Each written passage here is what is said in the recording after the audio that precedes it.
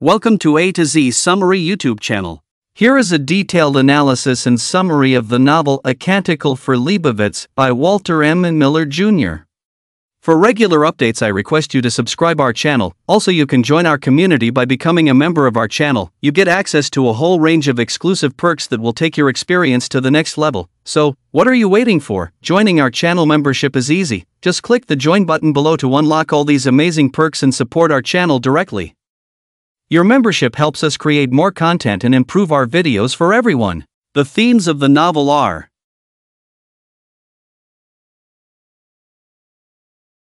The characters in the novel are A Canticle for Leibowitz by Walter M. A. Miller Jr. is a science fiction novel set in a future where civilization has collapsed due to nuclear war. The story follows a group of monks in a remote monastery who preserve the remnants of scientific knowledge. The novel is divided into three parts, each set in a different era of this post apocalyptic future. It explores themes of faith, knowledge, and the cyclical nature of history, showing how humanity repeatedly struggles with the same issues despite advances in technology and learning. Through its portrayal of a recurring pattern of destruction and renewal, it raises questions about the relationship between science and religion, and the inevitability of human flaws. The first part, Fiat Homo, takes place in the 26th century, approximately six centuries after a nuclear war, known as the Simplification, which led to the collapse of civilization. The novel begins in the desert of what was once the southwestern United States. The central focus of the first part is a small monastery run by the Albertian Order of Leibowitz, a group dedicated to preserving knowledge from the pre apocalyptic world. Brother Francis Gerard of Utah, a young monk, is the protagonist. He is a novice in this secluded monastery, which is nestled in the ruins of an ancient, devastated city. One day, while on a Lenten fast in the desert, Brother Francis discovers what seems to be the relic of a saintly figure an old fallout shelter. Inside, he finds a collection of pre war documents and artifacts. Among them is a blueprint, believed to be associated with the legendary figure Isaac Edward Leibowitz, a Jewish engineer who had founded the order to preserve the remnants of human knowledge.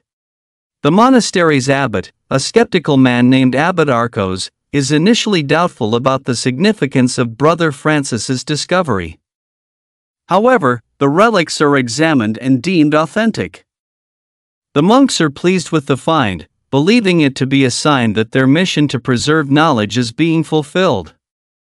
Brother Francis is sent to the local secular authorities, the barons, who are powerful figures in the post apocalyptic world, to have the relics authenticated further. The secular authorities, including a learned scholar named Thon Taddeo, show great interest in the relics. Thon Taddeo is excited about the prospect of rediscovering lost knowledge. As Brother Francis and the monks work with Taddeo, tensions arise. The secular authorities view the monks' mission with a mixture of respect and condescension. They are eager to extract useful information from the relics, while the monks remain dedicated to their religious and scholarly duties. The situation becomes even more complex as Thon Taddeo's research reveals that the pre apocalyptic world had its own technologies and knowledge that were lost in the aftermath of the simplification. Meanwhile, political and military tensions increase as a new global conflict looms.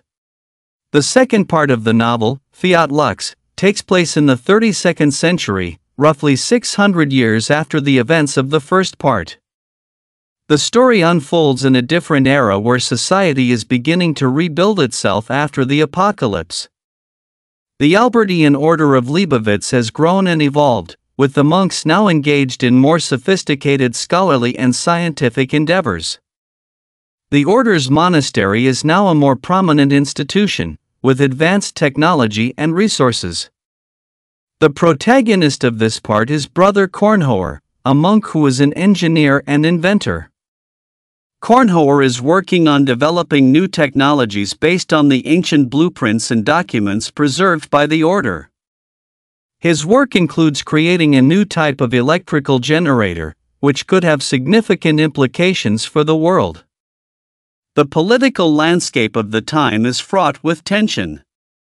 The world is divided into various factions, with a powerful hegemonic state emerging as a dominant force.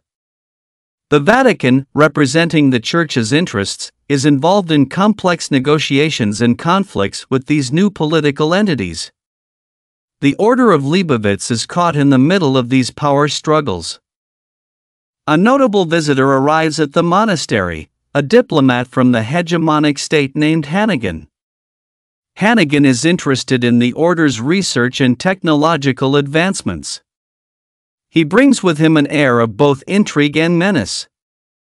As Hannegan and Brother Kornhoer interact, it becomes clear that the political and technological advancements of the world are intertwined with the ancient knowledge preserved by the monks. The story takes a dramatic turn when Brother Kornhoer's inventions attract the attention of powerful figures who seek to control and exploit them for their own purposes. The ethical and moral dilemmas faced by the monks become more pronounced as they grapple with the implications of their work and the potential for misuse. The final part of the novel, Fiat Voluntas Tua, is set in the 38th century, approximately 600 years after the events of the second part. By now, the world is on the brink of another catastrophic event. The technological and scientific advancements achieved since the simplification have led to new tensions and conflicts. The Albertian Order of Leibowitz is now in a state of decline. The monastery is struggling to maintain its relevance and mission in a world that is once again on the brink of disaster. The protagonist of this part is Brother Zerchi, a monk who is deeply concerned about the state of the world and the order's role in it. As global tensions rise, a new and powerful threat emerges the potential for a new global war. The technological advancements that were meant to rebuild society are now contributing to a new arms race. The story explores the consequences of humanity's failure to learn from past mistakes and the cyclical nature of human history. Brother Zerchi and the remaining members of the order face a moral and existential crisis as they confront the possibility of another apocalypse. The monks grapple with questions of faith, duty, and the ultimate meaning of their mission. The final scenes of the novel are poignant and tragic, as the world seems poised to repeat the mistakes of the past.